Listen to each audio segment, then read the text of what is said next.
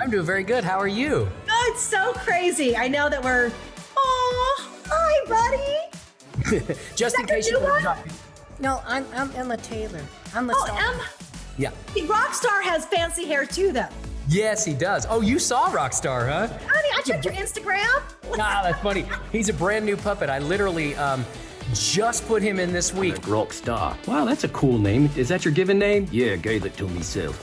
Look, I'm bored. Just start the song. All right, fine. I gotta ask you, after being, you know, quarantined and, and you know, locked down for so long, have you ever appreciated being on stage with a live audience more than ever before now?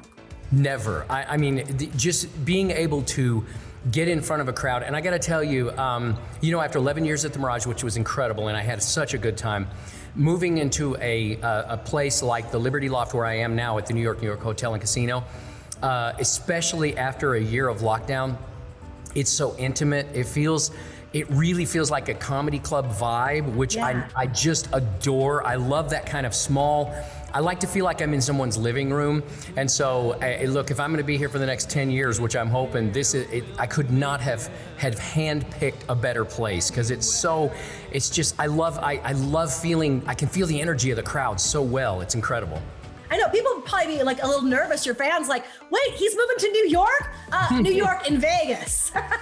I have had that. They're like, oh my God, you're going to New York? Are you kidding me? And it's like, no, no, no, no, I'm staying in Vegas. This is New York, New York hotel. You're a Vegas guy now. You've been here so long. It's like this is your home. I am. Well, let me ask you, Mr. Ventriloquist.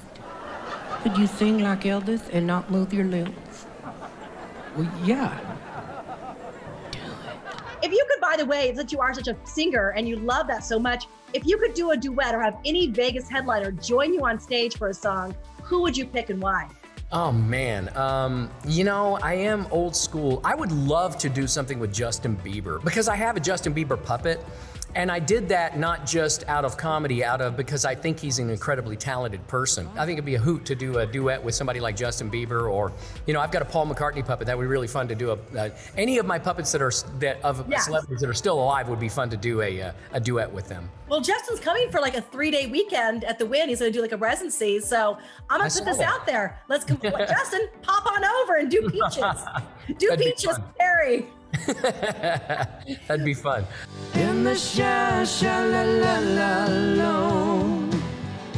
In the sha sha lo. Let's talk about your newest addition to the Fator family. He really likes to rock, right? Yes, he does. In fact, this uh, now there's just a little backstory on this guy. He, uh, uh, I had him in my dressing room for the last few years. I think I may have bought him like five years ago, and he's literally sat in my in a chair in my dressing room. And then, of course, when the quarantine happened and I moved out of uh, out of the Mirage, we we put him in storage. Actually, I put him in, in storage here in my house. I pulled him out the other day and I thought, you know, I should do this. I, I don't really have a guy who can do heavy metal. I mean, I mean, I don't know. The song he did was Billy Squier, but, you know, kind of hard rock.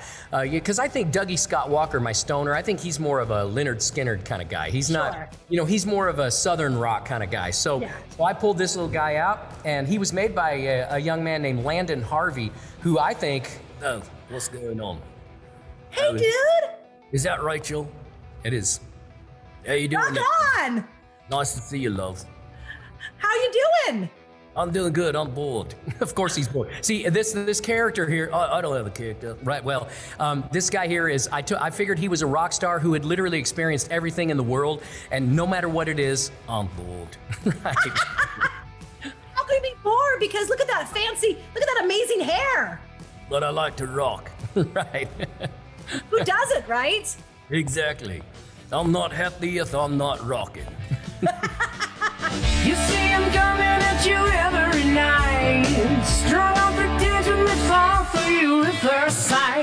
for your time. I hope next time we see you, it'll be in person, you know? I hope so too. Yeah, you should definitely come out and see the new show at, at uh, the Liberty Loft at New York, New York. It's so I, it's just so intimate and beautiful, and and we're we're um, turning it into like a whole Terry Fator experience. So when you walk in, we're gonna put some memorabilia on the walls and some things that I've done. It's just it's gonna be a blast. Trust me, it's gonna be amazing. Mama,